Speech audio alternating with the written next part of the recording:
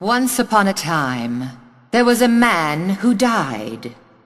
The man's work was the writing and telling of stories, but he could not defy death. The last story was about a brave and handsome prince who vanquishes a crafty raven. But now, it seems their battle will go on for eternity.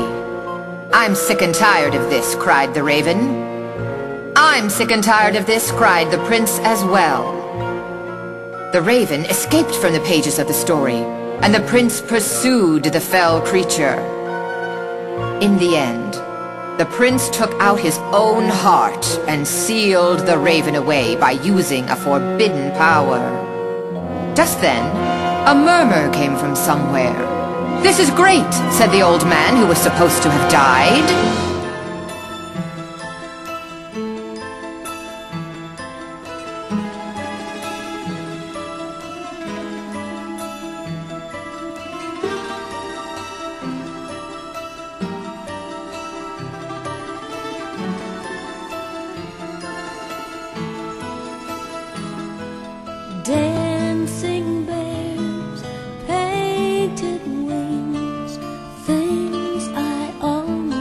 Remember, and a song someone sings once upon a December.